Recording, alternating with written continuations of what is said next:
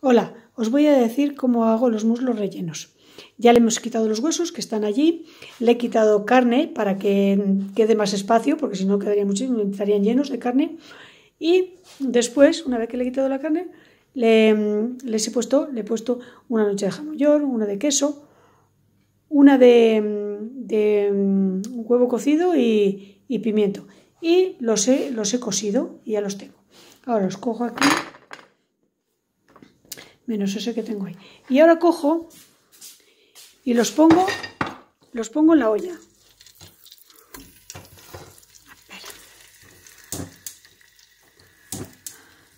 Los pongo en la, en la olla que se doren un poquito, con poco en el fondo de, el fondo de aceite. Mejor tiene poco aceite. Bueno, que se doren. ¿Sí?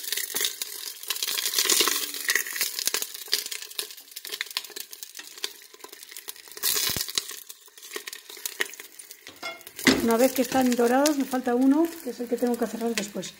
Después le echo el ajo y perejil.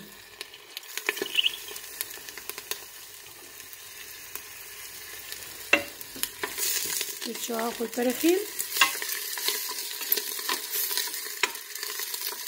Un poquito de vino blanco, que lo tengo que ir a buscar, ya lo buscaré. Y los huesos del pollo que he quitado.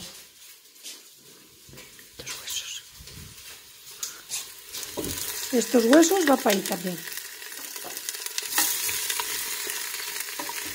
Ahora cojo, los doro un poco, un poquito dorados. Vamos a suponer que están bien dorados ya. Y después le echo el vino blanco, que se lo tengo que echar después, y agua, pero sin que, sin que los cubra. Por ejemplo,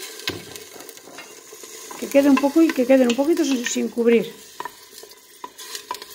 Así, más o menos más. Así. Y después cierro la olla.